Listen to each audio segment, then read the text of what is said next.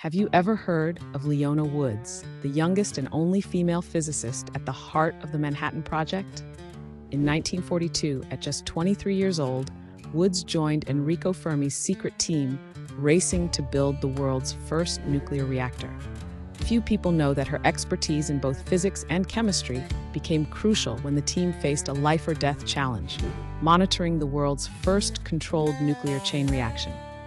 Woods ingeniously designed boron trifluoride detectors, devices sensitive enough to measure the faint presence of neutrons, which were essential to controlling the reaction safely.